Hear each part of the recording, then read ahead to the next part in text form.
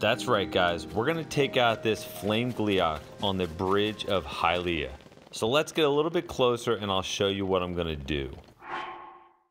Alright, so the first thing I'm going to do is I'm to eat a Mighty Simmered Fruit.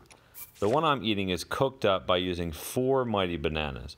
But there's also other recipes, like you could cook up five Mighty Bananas to give you a little bit extra time.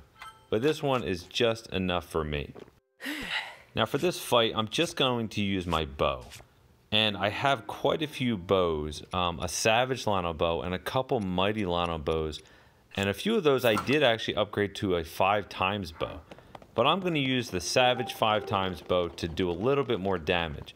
And I'm going to run over here, and as soon as he sees me, I'm going to use a Keese ball. I'm actually going to use three Keese balls, one for each one of his heads, to disarm him and put him on the ground. Now that I got him on the ground, now I'm going to use the Gibdo bones with my five times Savage bow to do massive damage.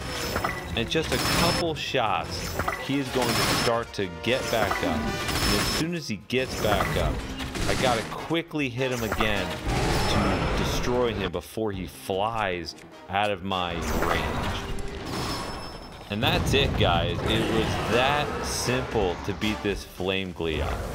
I'm still new in the game, but I'm trying to do my best and gather up all necessary equipment, all the powerful weapons that I possibly can.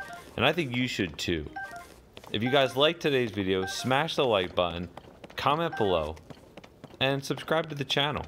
I try to post a video every day, and I like to give hints whenever I can. So please share it with your friends and subscribe.